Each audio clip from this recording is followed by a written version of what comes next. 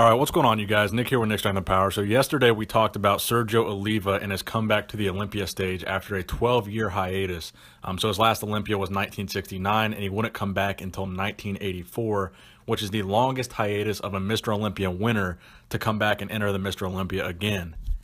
But he is not the only Mr. Olympia to take a long hiatus from bodybuilding and then return.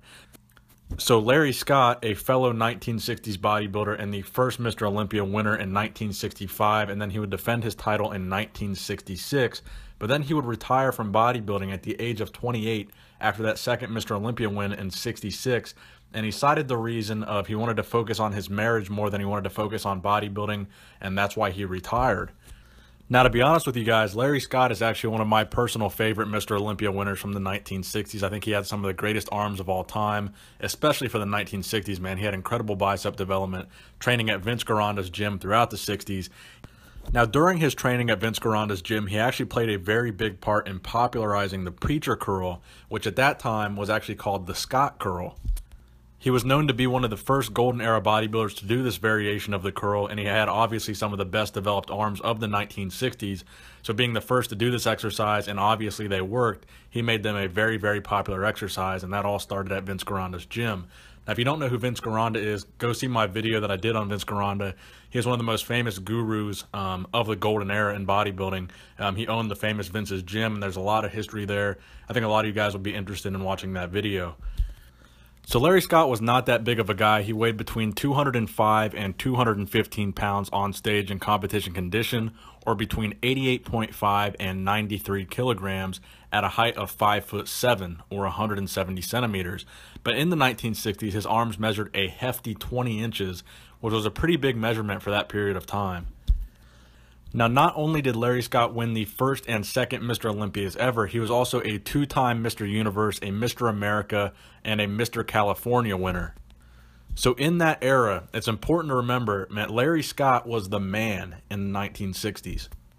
So, when he chose to retire at the age of 28, it was a very big deal in bodybuilding because 28, even by today's standards, is still a very, very young age. Arguably, he could have gone on to win many more Mr. Olympias in the 1960s and people were just baffled by the fact that he wanted to retire from bodybuilding because he had such great genetics. He was very, very popular. And honestly, he was just a good face for the sport. So Larry Scott did in fact take a 13-year hiatus from the sport of bodybuilding. However, he would never return to the Olympia stage like Sergio Oliva did. He would come back in 1979 to compete at two shows, the Canada Diamond Pro Cup where he would place ninth and the 1979 Grand Prix Vancouver where he did not even place. So neither of these shows were really even that big of pro shows to begin with, um, and he placed outside of the top six. And then at the other show, he did not even place. So arguably um, one of the least successful comebacks in the history of bodybuilding, and probably an embarrassing comeback for a former Mr. Olympia winner. But in 1979, Larry Scott was 41 years old, so he's no longer a young man. I think honestly he still brought a pretty impressive physique to the stage, even though it wasn't the same physique we were used to seeing. His chest was obviously significantly smaller.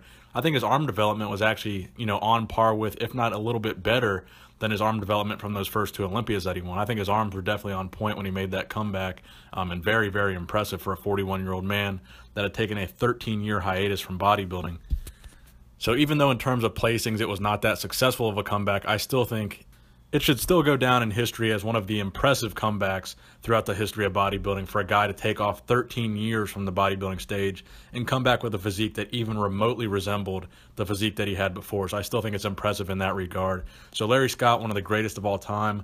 Unfortunately, he is no longer with us. He passed away back in 2014 at the age of 75, and the cause of death was unfortunately Alzheimer's disease. So thank you guys for watching the video. I hope you enjoyed it. Please give it a thumbs up if you did enjoy it. Nick and Power, signing out.